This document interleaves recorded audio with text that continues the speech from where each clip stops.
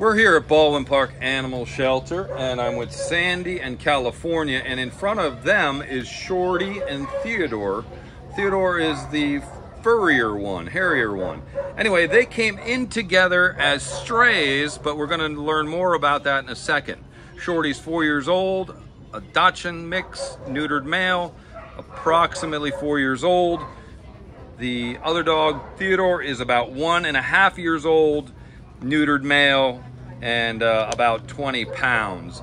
The ID number for Shorty is A556 4237. The ID number for Theodore is A556 4235. And Sandy, tell us a little bit about Shorty and Theodore. So, Theodore and Shorty, uh, as far best as we can tell, came in from the same household and um, under what we believe to be circumstances uh, out of the control of the household. They had to give up their dogs. Um, they get along very well together. They're very affectionate and playful with each other. Shorty himself is affectionate, loves a good walk, looks to his human for direction. Very um, amenable to redirection, comes when he's called.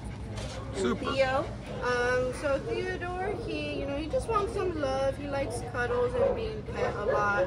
He's always looking to be near the handler, so, you know, he's constantly looking at me and just trying to be near me. So, you know, he's just looking for a lot of love and he's, he's, you know, kind of happy-go-lucky. Maybe a little shy at first, but warms up pretty quickly. So, you know, he just wants to make sure he feels comfortable and safe. It would be nice if they could be adopted together. They obviously get along very well, but it's not an absolute requirement. So, thank you for introducing us to Theodore and Shorty. Again, they came in together. They do not have to go out together, but obviously it's great to get dogs out of here. Thank you both for showing us them together.